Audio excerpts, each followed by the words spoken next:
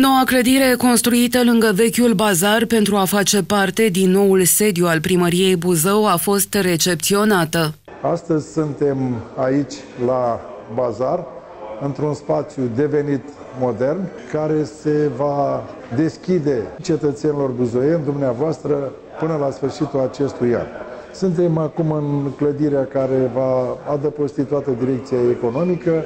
Avem aici aceste ghișee în care dumneavoastră veți veni cu toate condițiile pe care le puteam asigura la nivelul anului 2023, astfel încât uh, procesul, această conectare cu uh, dumneavoastră să fie cât mai ușoară. Direcția economică se va stabili definitiv în noul sediu împreună cu alte servicii absolut necesare pentru rezolvarea tuturor problemelor legate de administrație ale buzoienilor. Am avut în vedere atunci când am preluat bazarul să mutăm toate serviciile pe care le oferim cetățenilor buzoieni, să le mutăm în această clădire.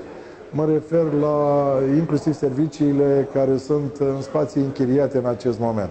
Se va întâmpla acest lucru, vom plăti mai puține uh, chirii, iar uh, cetățeanul buzoian va avea practic uh, tot într-un singur loc.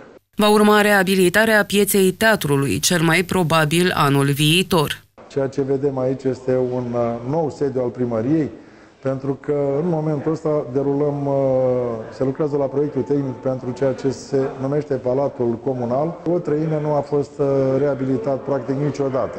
Și acest obiectiv de investiție este foarte important pentru viitorul orașului, pentru îmbunătățirea uh, legăturii cu, cu toți cetățenii Buzăului.